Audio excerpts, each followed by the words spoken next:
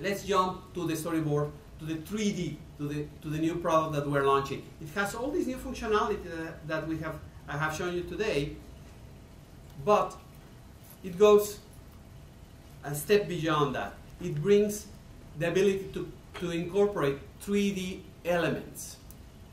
Someone was mentioning before that it's really important that I make the differentiation. We call it the storyboard 3D because we're bringing 3D models, not because it's stereoscopic.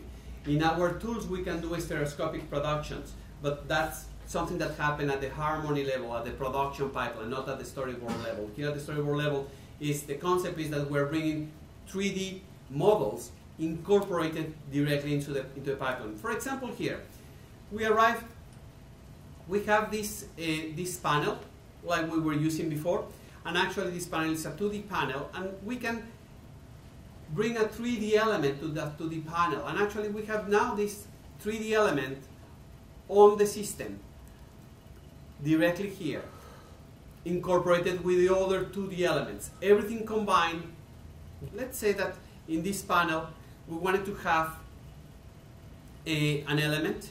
I can select my pen. I will try to do something here again with a not so nice drawing. Let's say like a stickman. okay, now we have our character like that. And then basically we can just move the character and if we move the character outside we can see it that automatically the system allow you to have the proper position of the character directly in relation with the 3D part. In the same sense, let's just remove that only one, we can have our character there, and basically with this character, we can just as well position it, put it outside, or on the border of the cornice here, or get it inside the system. It's really, really simple and easy to incorporate the 2D element directly into the 3D environment.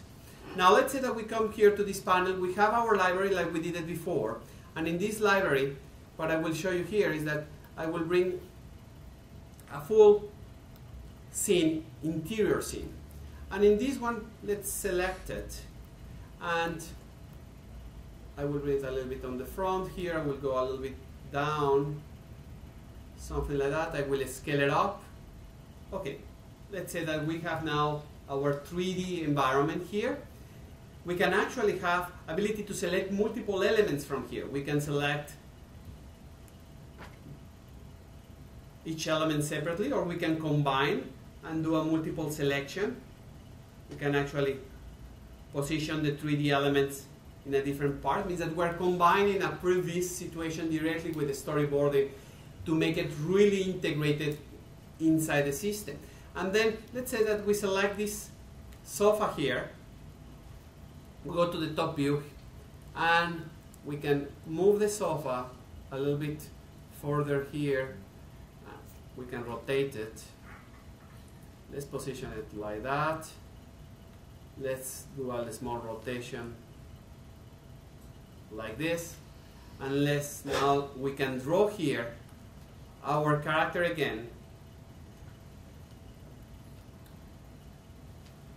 in this layer let's draw our character and with that we can have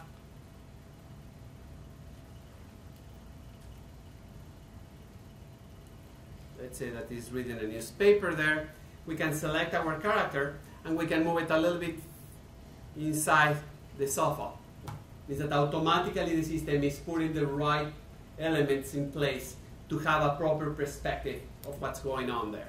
Now, can we do a camera move? Yes, actually we can have this in, we can select our camera, and we can ask the system that we wanted to have a keyframe at the beginning and at the end, and at the end we wanted to do a tracking like that. And we can just need to press the play button, and automatically we have our movement directly in the 3D. As you see, the concept here is make it really, really simple to do a scene, to do a pre-visualization, and with that we can export a PDF. Means that the whole concept of creating the whole storyboard became to be much more easy to do, incorporating 3D elements and, and the, from the library